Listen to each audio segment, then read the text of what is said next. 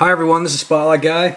Uh, I'm going to make a short video about uh, putting Clockwork Mod on your phone, on your newly rooted phone.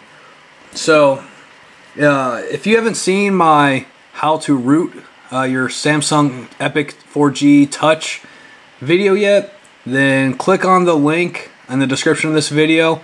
Go back to how to root your phone and then come back to this video when you're done. All the necessary information and the link to get the program you need and everything like that is in the rooting video. So if you watched my video and you did the root and you're ready to get a clockwork mod onto your phone, then very, simple. Go to your phone, your settings, applications, development, make sure USB debugging is checked. Mine is. You're going to take your USB cord, plug it into your laptop or your desktop, plug it into your phone. It says USB connected, drop down. Make sure that you are not connected for USB storage. Good. And yet again, if something happened to your driver since the since you rooted your phone, then make sure you download your Samsung drivers, which is on uh, it's included in the XDA page on the link in my rooting video. All right, so after you're connected, you're going to go back to that E4G Auto uh, folder that you downloaded.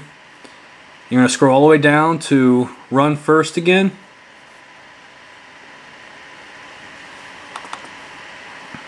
And it'll bring you back up to this familiar screen right here. All right. So you're uh, you already installed root. You don't want to uninstall root. We're gonna install the boot image slash zImage. So you're gonna hit C and enter. Now this is gonna give a list of the available uh, boot images. So select whichever whichever uh, modem you're on and then uh, you're gonna uh, select that that uh, boot image. So to figure that out, if you don't know already, go to your settings, go to About Phone, and it's right here, in the baseband version. I am running EK02. So I am going to be hitting E for my EK02 plus Clockwork Mod boot image. And yet again, like I said, only hit E if you are on the EK02. If you have a different modem, one of those that are up there, then hit that corresponding letter and hit, hit enter. Alright, same thing. Please verify all the following. USB debugging is enabled, USB storage mode is disabled, your Android drivers are installed, and your phone is connected to USB port and recognized. Press any key to continue.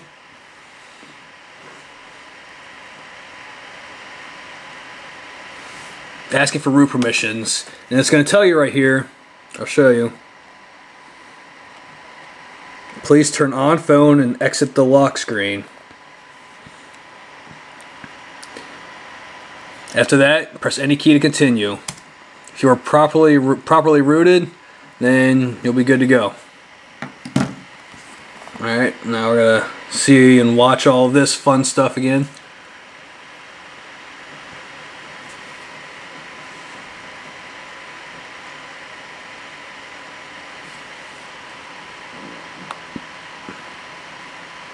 Alright, installing boot image, waiting for file system to sync. Alright, this uh, getting ready to reboot. This reboot will take slightly longer than usual since we'll be recreating your Dalvik cache.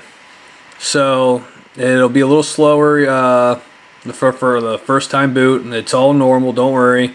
Press any key to continue. And it is rebooting.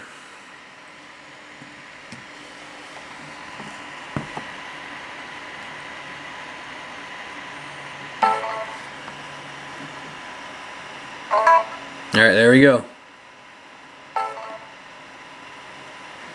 Alright, on this, you can press A key to continue. It'll go back to your main menu screen. This time you could take your USB cord out of your phone and wait for this bad Mamba Jamba to load up. 4G. I don't know about everybody else, but I'm apparently in a really bad part of the United States to get 4G because it works in maybe two areas. So, like when it, when it works, I love it, but really, I just I rarely use it because I could never connect to it. All right, here we go. All right, there's the lock screen, preparing SD card. All right, to verify that you have Clockwork Mod, you're gonna turn your phone off. Hit power off right there. Okay. Wait for these lights to uh, turn off.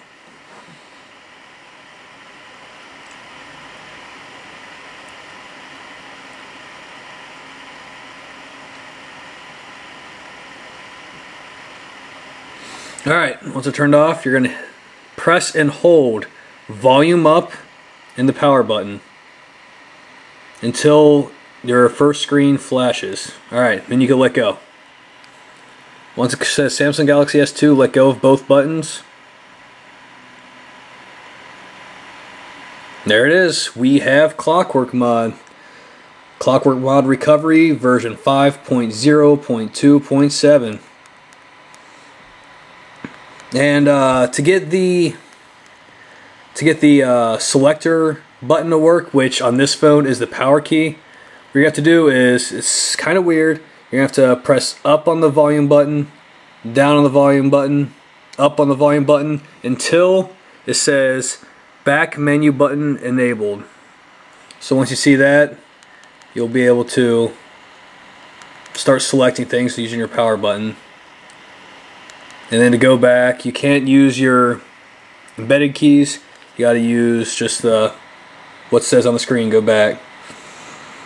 Alright, so we have Clockwork Mod. We are ready to install some ROMs. I can't wait. I'm going to be testing some tonight and I'll be making uh, video reviews and tutorials on how to install and you know just uh, seeing how the how great the ROM is. So if you liked this video, please uh, hit the like button on YouTube underneath it and uh, leave a comment, be it positive or negative. It doesn't matter to me. I have uh, thick skin, so uh, I just want some feedback. If you like all my videos and you want to keep up to date with everything that I post, then subscribe to my channel. And uh, I promise you that I will do my best to update se several times each day. Alright, thank you very much, and I will see you next time.